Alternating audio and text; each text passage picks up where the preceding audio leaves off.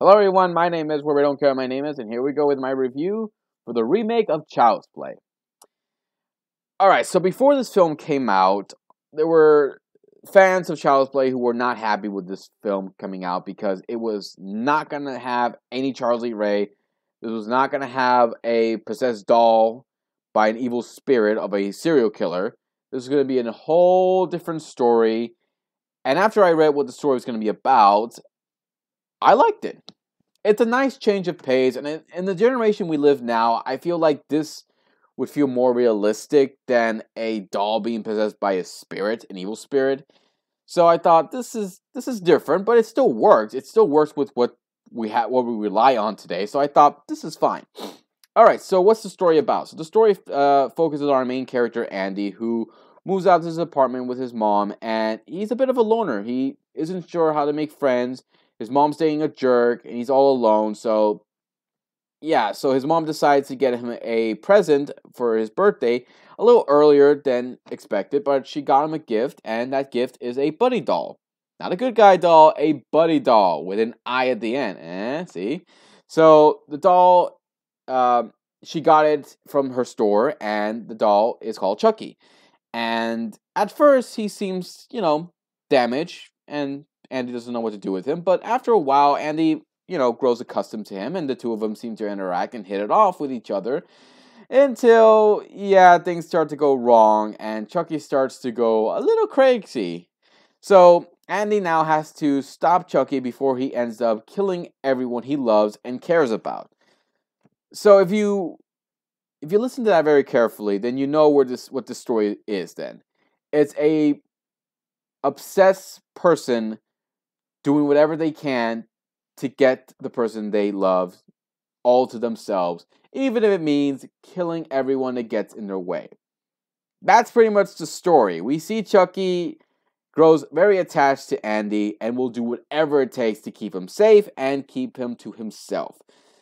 That is probably less creepy than the last film, but I still like the story. I like how it doesn't rush to the killings or anything. It actually takes its time it takes its time with Andy, you know, with with Chucky, and Chucky not understanding how things work because he's damaged. He's not. Uh, he was damaged when he was made, and uh, so he isn't like functioning well as the other uh, Buddi dolls would, and so Andy has to, you know, teach him like what not to do, some of the things you can do, some of the things you can't do.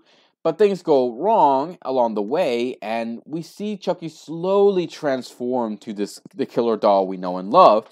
And it's done very well. I like how well it's done.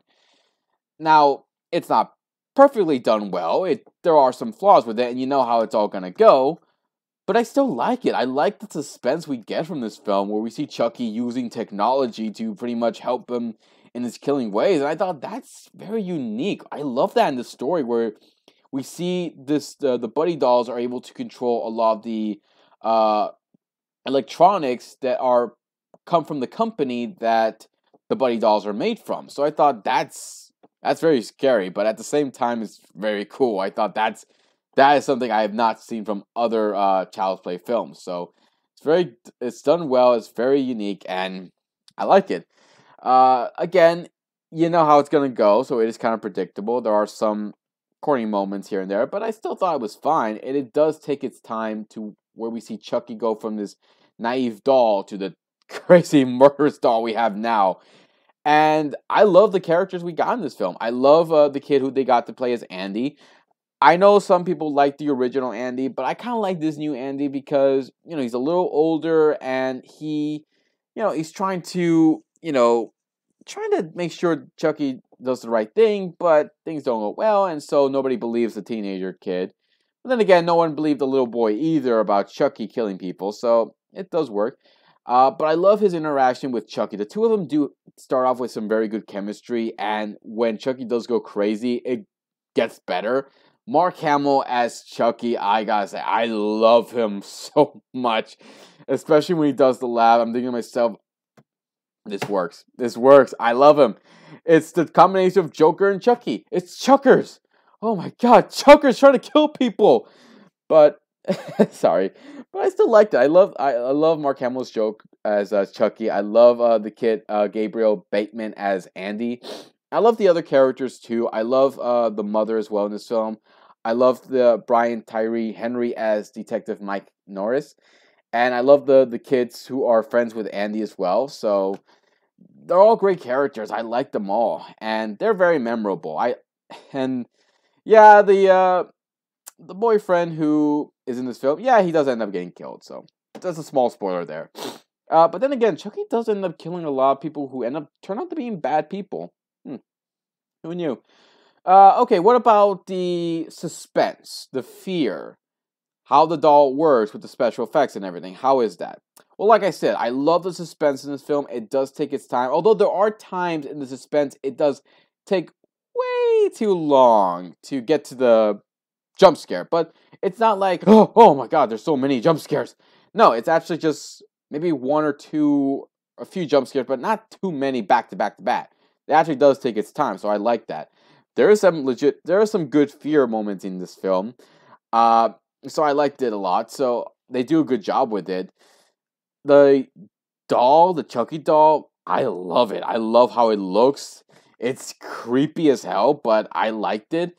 And especially when its eyes start glowing red from blue to red, I'm like, damn, that is creepy as hell.